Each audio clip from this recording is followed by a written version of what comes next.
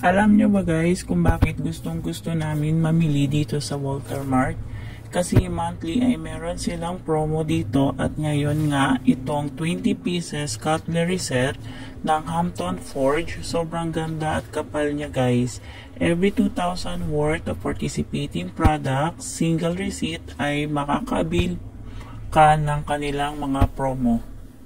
Yung mga nauna na naming mga nakuha dito ay yung dalawang laundry basket. Ang ganda din niya at makapal.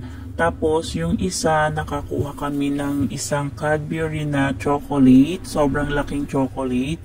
Tapos ngayon etong cutlery set naman at ngayon yung ongoing promo naman nila ay electric fan.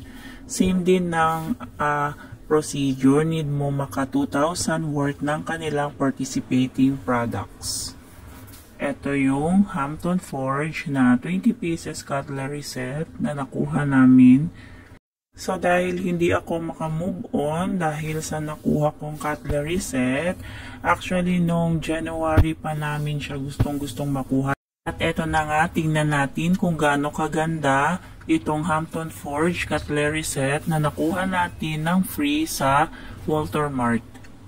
May 4 table forks, 4 table knives, 4 dessert spoon or teaspoon, 4 tablespoon, 4 small forks. Kaya lahat-lahat ay 20 pieces siya.